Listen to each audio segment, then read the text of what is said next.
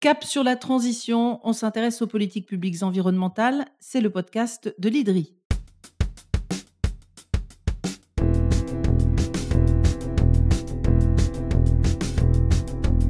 À l'IDRI et dans nos podcasts, on vous parle souvent d'alimentation durable, un vaste sujet qui mêle les enjeux de respect de la biodiversité, de santé, d'économie et d'emploi aussi. Aujourd'hui, c'est à propos de la pêche qu'on va questionner ces enjeux. 2024, c'est l'année de la mer. En 2025, la conférence des Nations Unies sur les océans aura lieu en France, à Nice. C'est donc un parfait moment pour observer la filière de la pêche française, son organisation, sa durabilité. Et aujourd'hui, on a choisi de braquer le projecteur plus particulièrement sur le secteur de la petite pêche, sur cette flotte de petits bateaux et d'artisans de la mer. Que ramènent-ils dans leurs filets Qui mange le produit de leur pêche? Sont-ils suffisamment soutenus? Et quelle est leur place au sein du secteur et du marché des produits de la mer face aux gros bateaux et à la concurrence internationale? Celui qui nous éclaire aujourd'hui, c'est Mathieu Colletter, chercheur associé à l'IDRI, docteur en écologie marine et ingénieur de recherche à l'Agro-Toulouse. C'est parti. Bonjour Mathieu Colletter. Bonjour.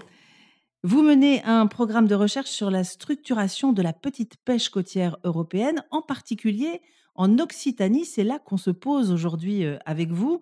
Est-ce que vous pouvez d'abord nous rappeler globalement comment s'organise ce secteur de la pêche et comment évolue cette population de marins-pêcheurs oui, tout à fait. C'est vrai que le, secteur de la pêche alors, reste encore un peu méconnu, des fois mystérieux. Aujourd'hui, en France, on a en effet bah, des, milliers de bateaux, donc environ 6000 bateaux, 4000 en, en, France métropolitaine, de quelques mètres à plusieurs dizaines de mètres, avec différents engins, des engins dormants, des arts dormants, par exemple avec des casiers, des filets qu'on pose sur le fond, dans lequel le poisson va venir se piéger, et puis des arts traînants avec des chaluts, des dragues, où là, par contre, on, on tire le filet pour attraper les poissons. Donc on a un ensemble d'engins, un ensemble de bateaux qui aujourd'hui débarquent sur nos côtes environ 250 000 tonnes par an de poissons frais qui sont ensuite euh, vendus sur les marchés, alors euh, marché français, marché européen, marchés internationaux. Et c'est vrai que la pêche reste encore assez méconnue, ce qui peut paraître paradoxal, parce que la France est quand même le, le deuxième euh, domaine maritime au monde. On a plus de 11 millions de kilomètres carrés en zone économique exclusive. Euh, mais cette facette bleue, elle reste encore assez peu perceptible. On a une économie maritime qui reste encore relativement faible, hein, c'est 1,5% du PIB.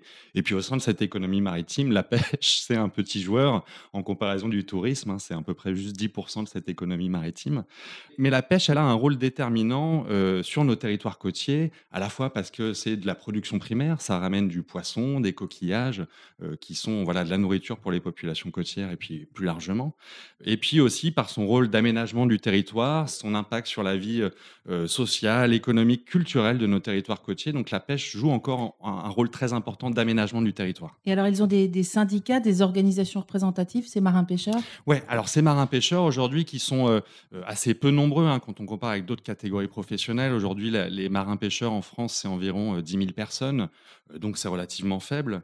Et ces pêcheurs, donc justement, bah, historiquement ont un intérêt administratif. Hein. L'État s'est toujours intéressé aux pêcheurs, bon, parce qu'on avait besoin de gens aussi sur la marine de guerre. Donc les pêcheurs étaient les premiers, euh, les premiers embarqués dans ces, dans ces galères. Et donc, euh, euh, l'État a développé, dès sous Colbert, par exemple, l'établissement national des invalides de la mer. et donc, on a un régime social particulier et une organisation particulière qui est donc fille, un peu comme dans l'agriculture, de grands mouvements corporatistes et puis coopératifs, syndicalistes.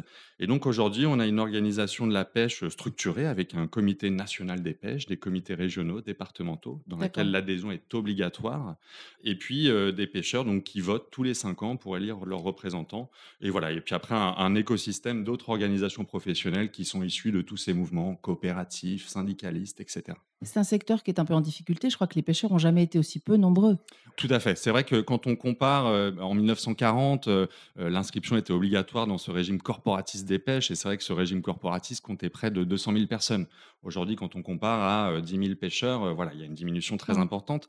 Et c'est vrai que ne serait-ce aussi, par exemple, sur les 20 dernières années, on a perdu un tiers des bateaux, à peu près pareil en termes de nombre de pêcheurs. Donc on a aujourd'hui une pêche qui est en pleine transition, qui depuis des décennies est en pleine transition d'ailleurs, avec une diminution de ce nombre de pêcheurs des bateaux, une modernisation aussi du secteur, hein, avec des changements à la fois dans les techniques, dans les engins, dans les matériaux, dans les sonars, etc. Euh, et puis aussi une modernisation liée à l'écologisation, à la question écologique qui a arrivé, qui a percuté les activités de pêche, et aussi des évolutions réglementaires, organisationnelles. On a au niveau européen une politique commune de la pêche qui régit le secteur.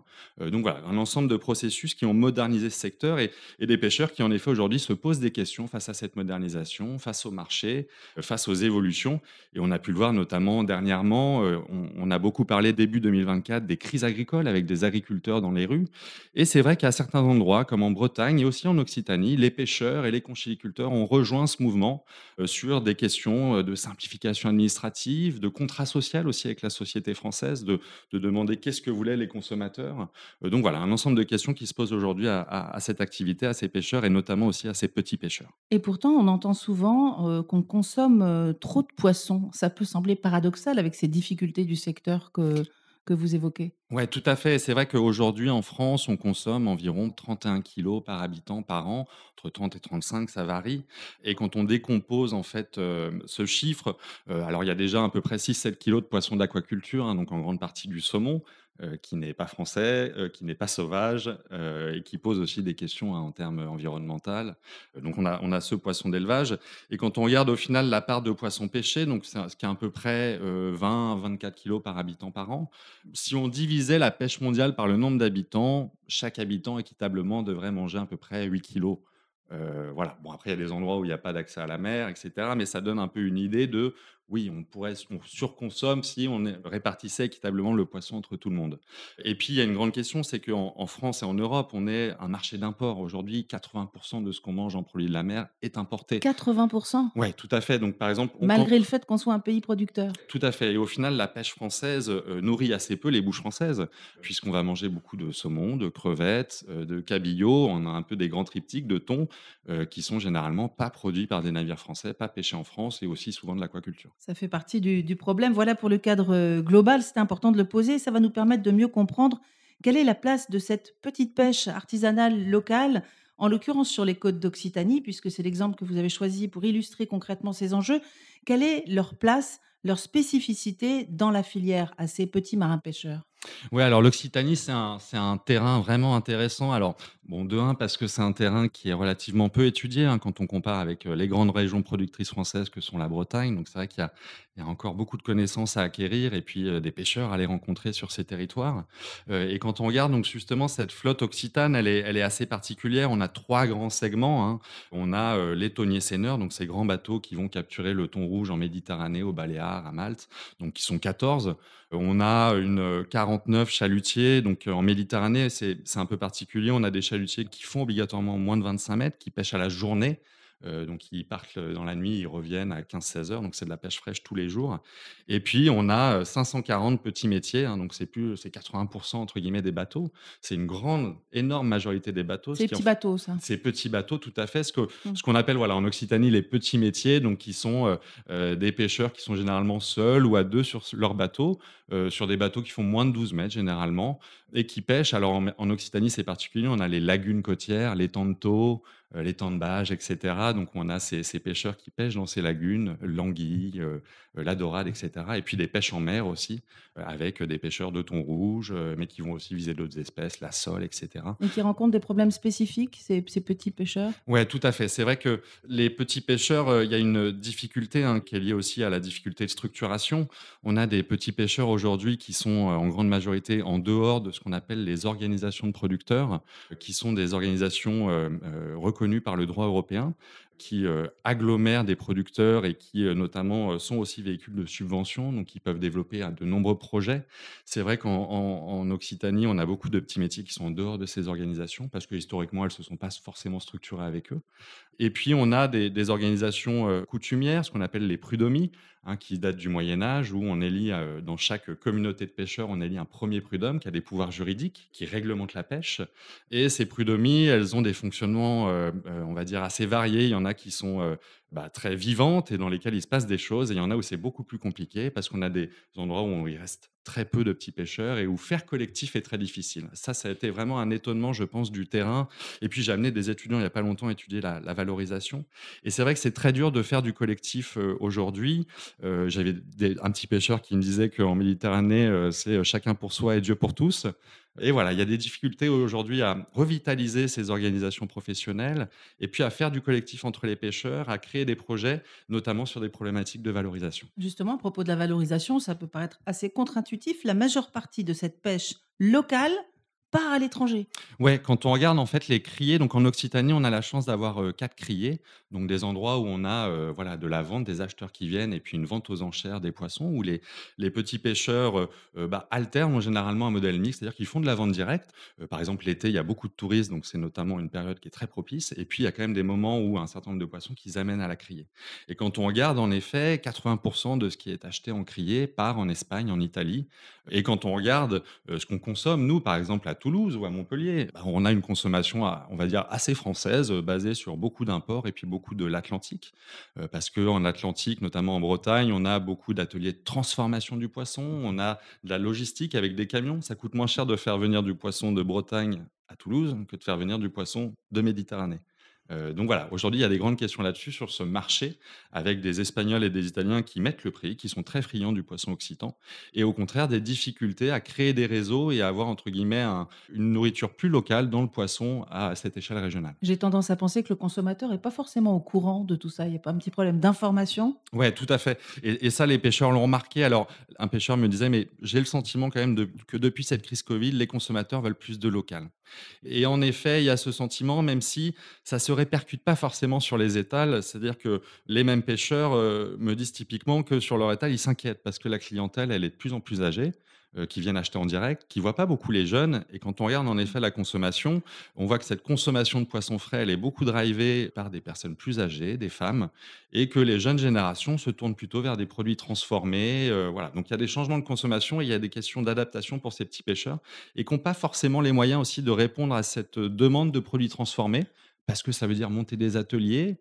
euh, ça veut dire acquérir des nouvelles compétences, peut-être aussi pour ces femmes marins-pêcheurs. Donc, on voit des exemples hein, de petits pêcheurs qui montent des conserveries. Justement, j'allais vous demander quelles seraient les solutions finalement, parce qu'elles Ouais. existent concrètement. Oui, oui, elles, existent. et- et- Remédier à ces manques. Et c'est vrai que c'est rigolo parce que les pêcheurs, notamment, demandent plus de soutien, plus de reconnaissance. Et ça, c'est quand même un, message aussi au- adressé aux consommateurs. hein, cette question sur, euh, des fois, la schizophrénie du consommateur. C'est-à-dire, le consommateur, il veut du local, oui, mais il achète beaucoup de saumon et moi, il vient pas beaucoup me voir sur mon étal. Donc, le pêcheur se pose des questions. Et en effet, il y a, des solutions. Alors, en Occitanie, nous, typiquement, on a mené un, travail avec des étudiants et puis le comité régional et, et le CEPRALMAR euh, pour essayer de, de voir un peu des solutions à cette, notamment cette valorisation, essayer de mieux ancrer la pêche locale dans les réseaux de distribution locaux, notamment aussi dans les cantines scolaires. Et ça, c'est une demande des pêcheurs. Notamment, ils voient le soutien public pas forcément sous l'angle de la subvention, de donner nous de l'argent, mais plutôt sous l'angle, par exemple, de la commande publique. De dire, attendez, moi j'ai mes enfants qui sont à l'école euh, au port et à la cantine, ils n'ont jamais un poisson de la côte qui passe. Donc il y a, par exemple, dans les plans d'alimentation territoriaux, le poisson qui est un peu souvent la dernière roue du carrosse, peut-être des choses à faire là-dessus. Et puis un soutien public aussi à amener euh, sur la transformation, c'est-à-dire euh, relocaliser des activités de transformation De conserverie, par de exemple. conserverie, par exemple aussi d'être capable de mettre des poissons en filet, de créer des recettes pour les cantines, pour les enfants, pour les hôpitaux, pour euh, aussi plus simplement les administrations, etc. Euh, donc euh, voilà, il y a des solutions qui sont là-dedans pour aussi peut-être renouer, retisser un contrat social avec nos pêcheurs à cette échelle régionale, locale. Et puis c'est quelque chose d'ailleurs dont s'est saisi le, le comité régional des pêches puisqu'ils ont lancé un contrat de filière et une stratégie de filière. Et un des axes notamment, c'est cette question de la valorisation des marchés et d'être capable de reconnecter le consommateur aux producteurs occitans.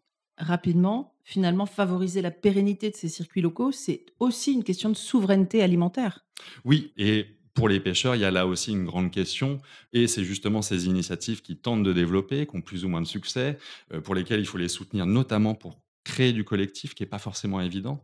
Et il y a cette demande, voilà, de justement réancrer ces circuits, de renourrir.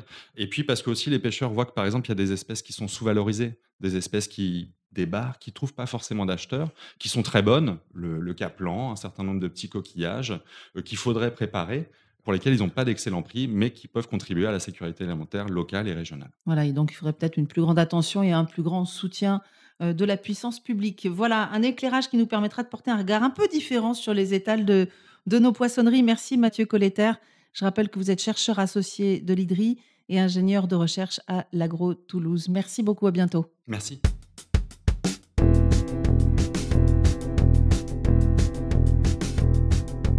C'est la fin de ce coup de projecteur sur les défis auxquels doit faire face le secteur de la petite pêche en France et en particulier en Occitanie. Vous retrouvez tous les podcasts euh, sur le site de l'IDRI, I2DRI ou sur les plateformes en cherchant Cap sur la transition. À très bientôt pour un nouvel épisode de Cap sur la transition.